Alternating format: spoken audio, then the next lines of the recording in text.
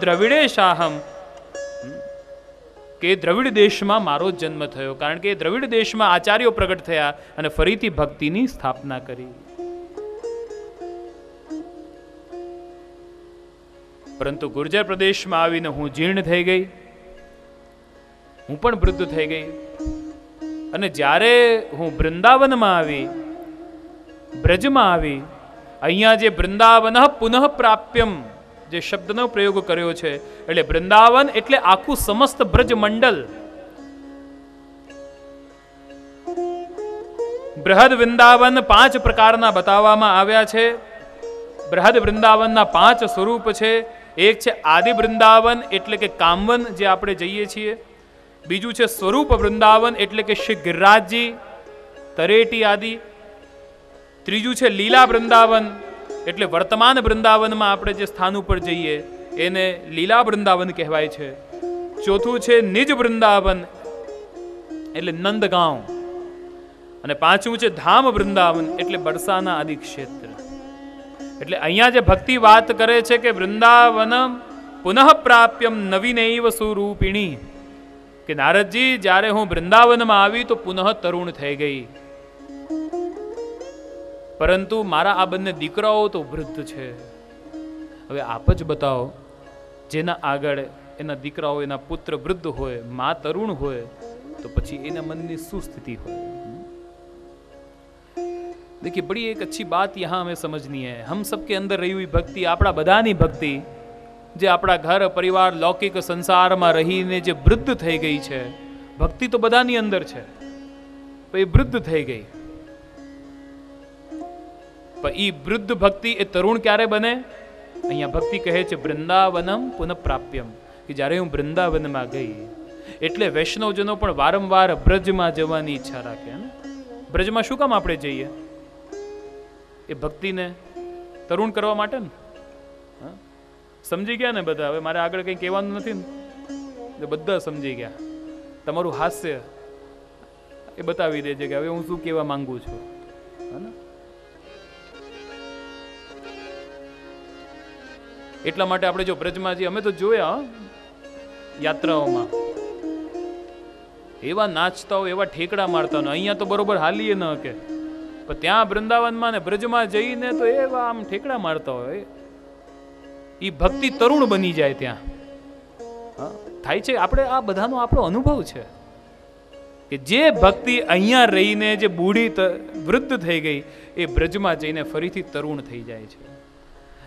અને ઠાકુરજીને એવી તરુણ ભક્તિ પસંદ છે ને. ઘરડી ભક્તિ એ પ્રભુને પ્રસન્ન નથી. ભગવાનને પ્રસન્નતા એ તરુણ ભક્તિથી મળે કે જેમાં ઉત્સાહ હોય, ઉમંગ હોય. એટલે વારંવાર વૈષ્ણવો બ્રજ જાય. આપણે યાત્રા કરીએ બ્રજવાસ કરીએ.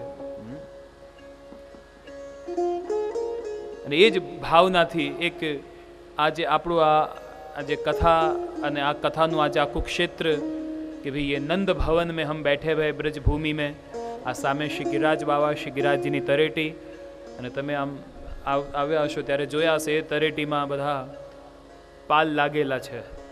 તમે વિચારો એ આદિદેવી આજે સામે ગિરિરાજ બાવા અને શ્રી ગિરાજજીની તરેટીમાં લાગેલા પાલ અને એ બ્રજભૂમિમાં એ તરેટીમાં એ પાલમાં આપણે રહેવાનું। ખાલી અહીંયા દર્શન કરીએ એવો આનંદ થાય છે. અને જ્યારે વાસ્તવિક ત્યાં જઈને એ અનુભવ કરીશું, એ આનંદ શું છે? એ આનંદ ઉસકી ક્યાં બાત કર શકે આપણ હા? એ આનંદ શબ્દોનો કહેવાનો નથી, એ તો અનુભવનો વિષય છે. એટલે આ બધા જો પાલ લાગી ગયા છે, હવે આપણે આપણા પાલ નક્કી કરી લેવાના છે. આવા તરેટીમાં આપણા પાલ લાગે કે નહીં? કે પછી અહીંયા ઘરડી આવી રીતે જ રહેવાનું છે ભક્તિને? એ આપણે ડિસાઈડ કરવાનું છે, હા? આ એક સારો એક અવસર છે વૈષ્ણવ. જરૂર નથી યાદ અપાવવાની, તોય તમે વારંવાર ભૂલી જાઓ છો એટલે કહું છું. બે હજાર અઢાર.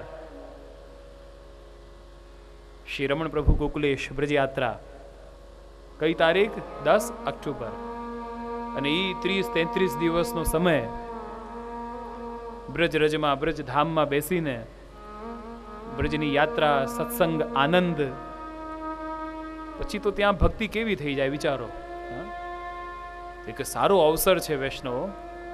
ખૂબ ખૂબ આ આ મંચથી, આચાર્ય પીઠથી આપ બધાને આ બ્રજયાત્રામાં જોડાવા માટે, લાભ લેવા માટે આવાહન કરું છું. તત્પર બનો અને આ યાત્રામાં વહેલાસર પોતાનું નામાંકન કરાવો. યાત્રામાં જોડાઓ. બ્રજ અભિલાષી બનો, બ્રજવાસી બનો. અને એ બ્રજના માધ્યમથી ભક્તિ તરુણ થાય, ઠાકુરજીને પ્રસન્નતા થાય.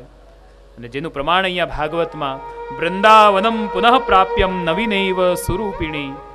નવીનૈવ કે ભક્તિ બ્રજમાજીને કેવી થઈ ગઈ? નવીન થઈ ગઈ. નૂતન ભાવોથી યુક્ત. અને એમ પણ આપણા નવનીત પ્રિયાજી, આપણા ઠાકોરજી એમને એ નવી નૈવ જોઈએ. નિત નિવ નિત નિત નવ નવ નિત. નવનીત પ્રિયાજી, હમ ઠાકુરજી આપણા ઘરે બિરાજતા હોય, સેવા કરતા હોઈએ એને એને શું પસંદ છે? નિત નિત નવ નવ નિત. નવ નિત. રોજ નયા નયા માખન. રોજ નયા નવા નવા નવા ભાવ. નવીન નવીન ભાવ. તો એ બ્રજમાં જોઈને, બ્રજમાં જઈને નવીન એવ સુરૂપિણી એવી આપણા અંદર રહેલી ભક્તિ પણ તરુણ થઈ જશે. બ્રજમાં ભક્તિ તરુણ છે, જ્ઞાન વૈરાગ્ય વૃદ્ધ છે ત્યાં. તો એવી બ્રજભૂમિ આપ બધા તત્પર બનો, ઠાકોરજી આપ બધાને પ્રેરણા કરે, એ સદભાવના અહીંથી પ્રગટ કરું છું. તો એ ભક્તિ પોતાનો દુઃખની વાત નારદજીને કહે છે અને હવે નારદજી કહે છે કે, માં, આપ ચિંતા નહીં કરો. આપનું દુઃખનું કારણ હું સમજી ગયો. અને આ બ્રજભૂમિની મહિમા પણ હું જાણી ગયો કે આ બ્રજમાં આવીને આપ તરુણ બની ગયા. ધન્ય છે આવી આ વૃંદાવન ભૂમિ કે જ્યાં આપને સુંદર નવીન રૂપ ધારણ રૂપ આપને મળ્યું.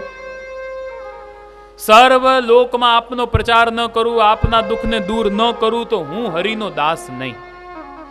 હવે એ નારદજી સંકલ્પ લીધો કે આપનો પ્રચાર બીજા બધા ધર્મોને ગૌણ કરીને જો આપનો હું પ્રચાર ન કરું તો હું હરિનો દાસ નહીં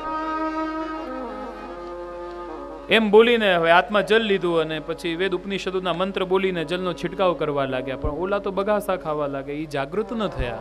એવા પ્રમાદમાં પડેલા. શું કામે જાગૃત ન થયા? કારણ કે નારદજીની અંદર એક સાત્વિક અભિમાન આવ્યું કે હું હરિનો દાસ નહીં.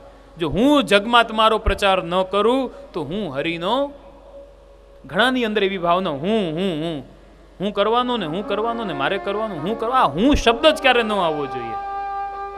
હું હું હું હું હું, કઈ કઈ લોગ?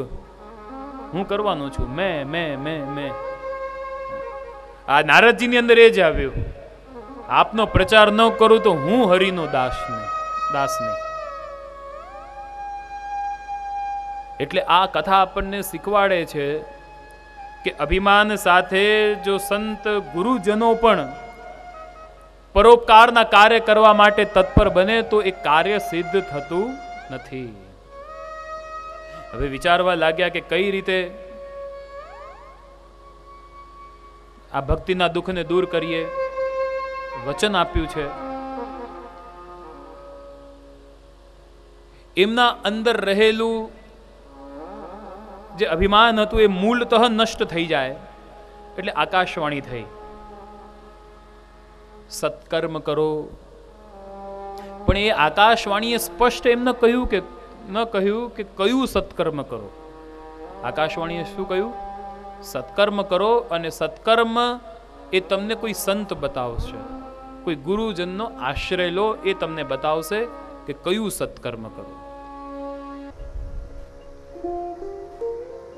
પ્રાયઃ બધા ગ્રંથો આગળ શ્રીમદ પદ નથી લખાતું. શ્રીમદ ભાગવત શ્રીમદ ભાગવત ગીતા, એટલા માટે જ, કારણ કે શ્રીમદ એટલે શ્રીમદ એટલે કે શોભાયુક્ત. હવે આ સંસારમાં સર્વથી અધિક શોભાયુક્ત કોણ છે?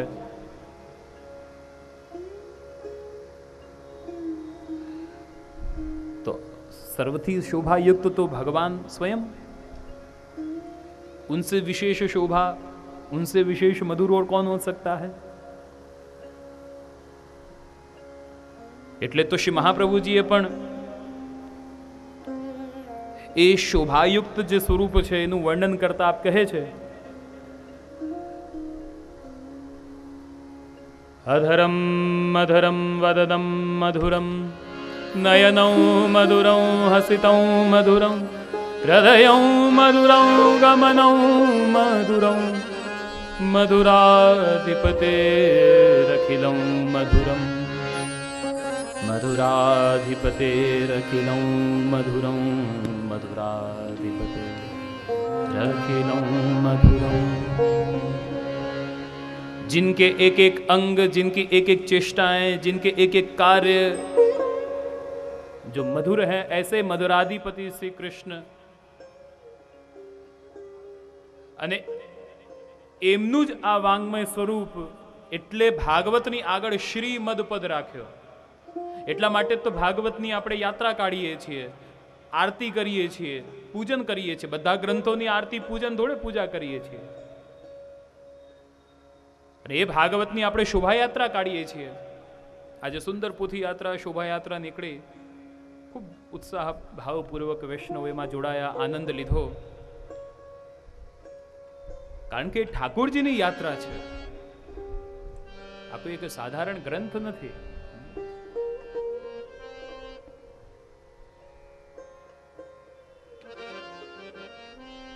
એટલે જ આ ગ્રંથના આગળ શ્રીમદ કે આ જગતમાં સર્વથી શોભાયુક્ત ભગવાન છે અને ભાગવત એમનું જ નામાત્મક સ્વરૂપ છે. એટલે શ્રીમદ ભાગવત. ભાગવતની અનેકાનેક વ્યાખ્યાઓ કરવામાં આવી છે. ભાગવત ઇદમ ભાગવતમ. અથવા તો ભક્તેભ્ય ભાગવતા યદ પ્રોક્તમ તદ ભાગવતમ.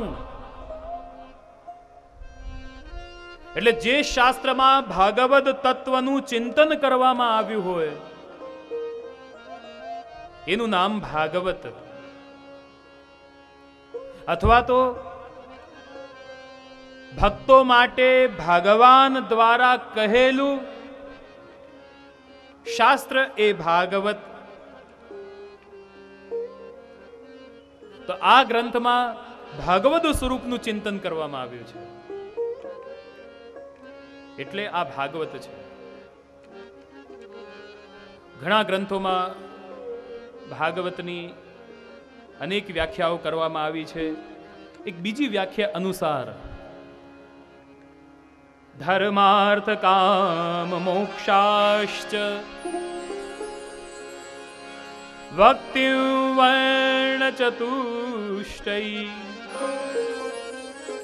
તે પ્રાપ્યન્તે યતો નેન તસ્માદ સ્મૃતં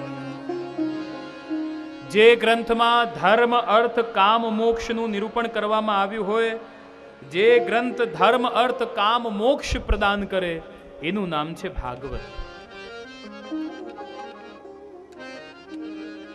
ભાગવત તત્વનું ચિંતન આમાં છે હમ કિસકા ચિંતન કર રહે હૈ? આપણે આપણે કોના ચિંતનમાં હોઈએ છીએ? સવારથી સાંજ સુધી કોના ચિંતનમાં લાગેલા છીએ?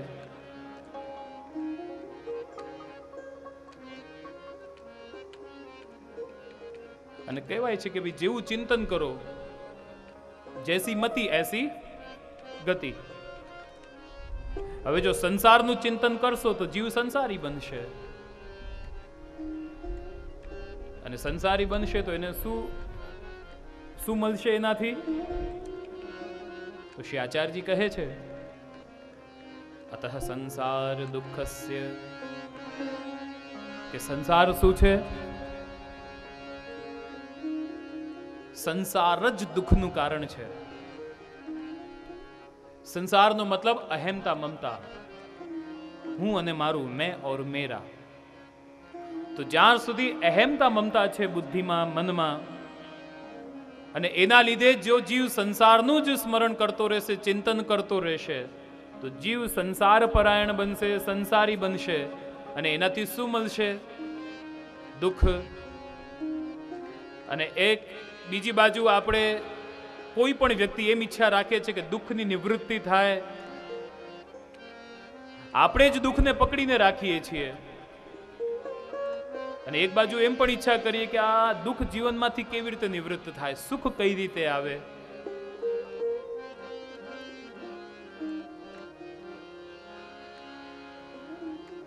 ત્રીજા સ્કંદમાં પણ વિદુરજીએ મૈત્રીજીને પ્રશ્ન કર્યો છે.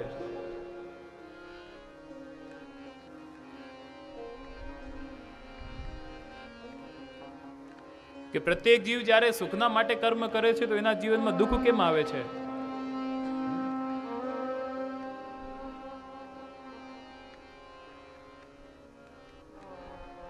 આપણે સંસારમાં સુખ છે એવું એવું માની લીધું છે. બાકી સુખ છે નહીં, આભાસ માટે છે.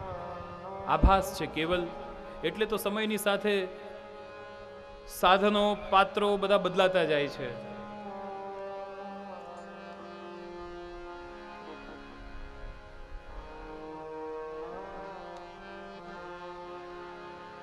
જેમ નાનું બાળક હોય સૌથી પહેલાં નાના બાળકને શેમાં મજા આવે? મામાં મજા આવે, આનંદ આવે. થોડોક મોટો થાય પછી રમકડામાં મજા આવવા લાગી જાય. થોડોક મોટો થાય પછી મિત્રો સાથે આનંદ. એનાથી સુખ મળે. પછી આગળ જાય તો પત્નીમાં. એનાથી આગળ જાય તો પુત્રમાં સુખ મળે છે. એનાથી આગળ જાય પૌત્રમાં આનંદ મળવા લાગી જાય છે. સમય કે સાથ સાથ सुख के पात्र बदलते जाते हैं જો કોઈ પણ સંસારની વ્યસ- વક- વ્યક્તિ કે વસ્તુમાં સુખ હોય તો પછી એ સુખ સર્વદા હોવું જોઈએ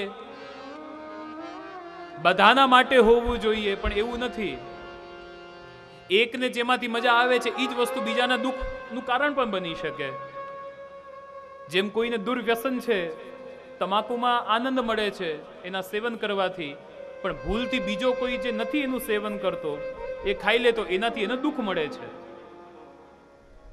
પરંતુ જો એ એ એ દૂર પદાર્થમાં જ જો સુખ હોય તો પછી એ સુખ બધાને મળવું જોઈએ. પણ એ સુખ બધાને નથી મળતું. એનો મતલબ એ છે કે એ પદાર્થમાં સુખ છે જ નહીં. क्योंकि સુખ હોતા તો सबको મિલના ચાહીએ ના. લેકિન सबको નહીં मिल रहा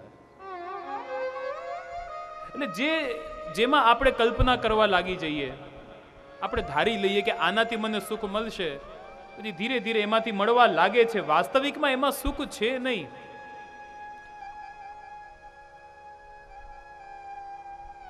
અને એ જ પાત્રો, એ જ વ્યક્તિ ધીરે ધીરે દુઃખના કારણ પણ બનતા જાય છે. અતઃ સંસાર દુઃખસ્ય નિવૃત્તિ બ્રહ્મબોધનમ.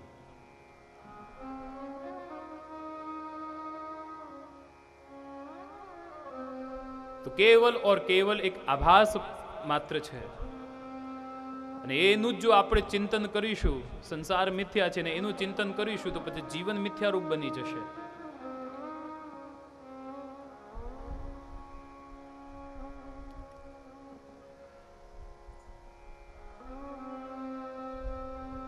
એટલે ચાણક્યએ પણ એની નીતિમાં કહ્યું છે કે સુખસ્ય મૂલમ ધર્મ. સુખ કા મૂલ ધર્મ है धर्म एव हतो हंति धर्मो रक्षति रक्षिता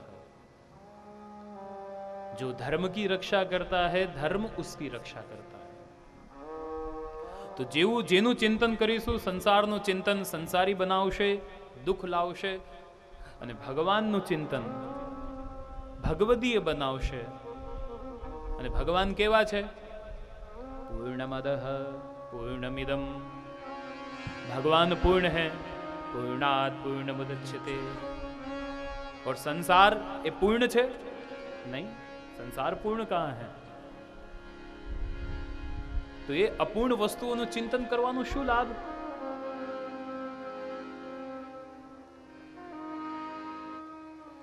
એટલે તો આપણા આચાર્યો પણ આપણને ગાયો ના ગોપાલ મન લાગ્યો ન રસાલ લીલા સુની ન સુબોધિની ન સાધુ સંગ પાયો હે રસિક કહે વારંવાર લાજહુ ન આવે તો હે માનવ જન્મ પાયો હે કહા લો કમાયો ગાયોના ગોપાલ મન લાગ્યો ન રસાલ લીલા સુની ન સુબોધની ન સાધુ સંગ પાયો હે રસિક કહે વારંવાર લાજહુ ન આવે તો હે मानव जन्म पायो है कहां लो कमायो है शहराई जी कह रहे हैं कि भैया तो कुछ शर्म नहीं आ रही है तूने का कमायो मानव जन्म पाके